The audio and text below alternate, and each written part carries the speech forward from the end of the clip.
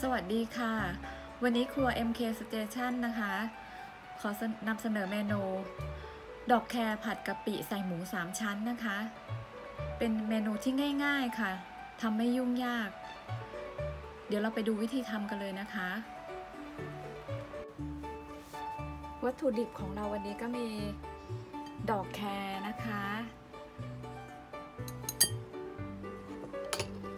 หมูสามชั้นค่ะ หมูสามชั้นขีดหนึ่งค่ะ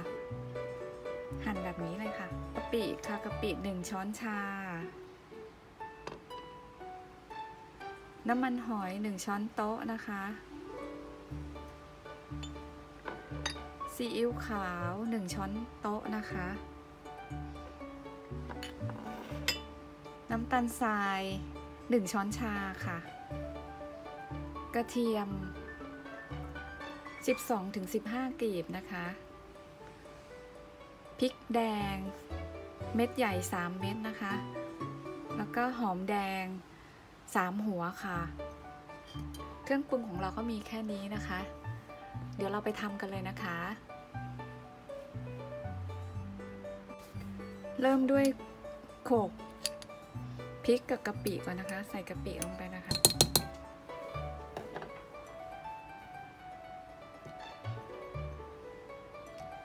หอมแดงค่ะ กระเทียมนะคะ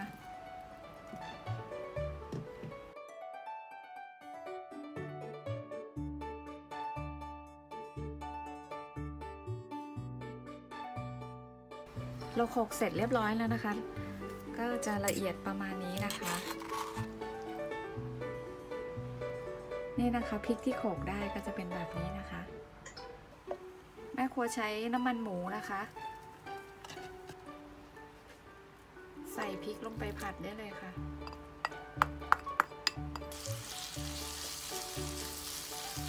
ผัดพริก ที่มีกะปิกระเทียมหอมแดงนะคะ ผัดให้ให้หอมนะคะ ผัดไปเรื่อยๆ ก่อนนะคะ หอมมากเลยนะคะ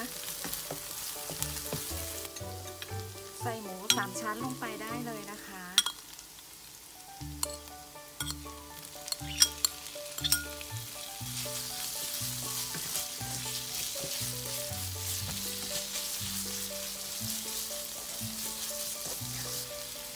หมูสุกดีแล้วค่ะ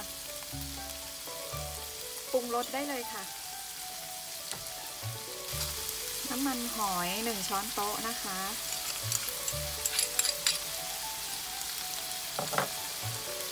ซีอิ๊วขาวหนึ่งช้อนโต๊ะค่ะ น้ำตาลทรายหนึ่งช้อนชา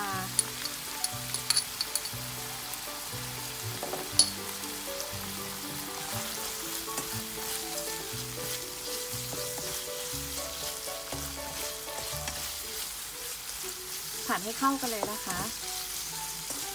เรามีน้ำล้างก้นครกนะคะ ที่มีพริกติดอยู่นะคะ ใส่ลงไปได้เลยนะคะ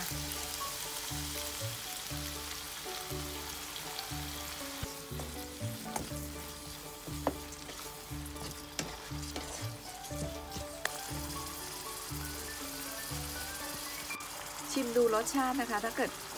ขาดอะไรเราก็เติมนะคะ ลองชิมดูนะคะ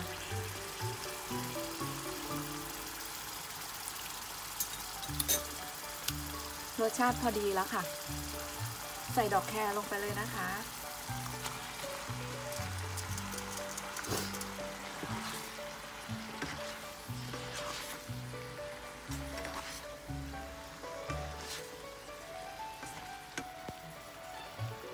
เสร็จเรียบร้อย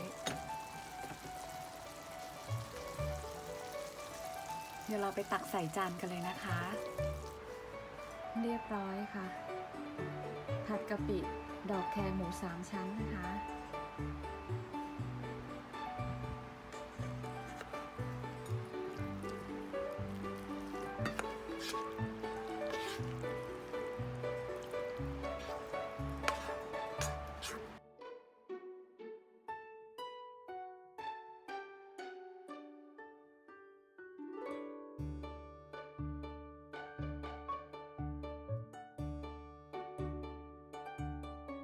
เสร็จแล้วนะคะเมนู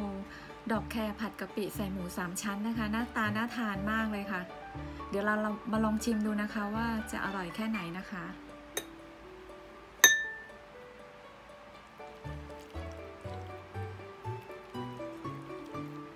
นี่นะคะ หมูสามชั้น ดอกแคร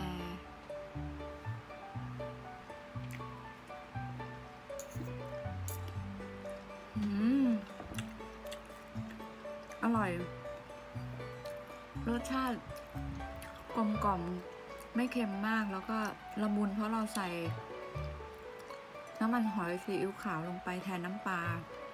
ได้ความเค็มของกะปินะคะ พอดีมากเลยค่ะ ลองไปทำกันดูนะคะ ถ้าชอบคลิปนี้ กดไลค์ กดแชร์ กดกระดิ่ง กดติดตามให้ MK Station ด้วยนะคะ เป็นกำลังใจให้เราด้วยนะคะ ขอบคุณที่รับชมนะคะ พบกันคลิปหน้านะคะ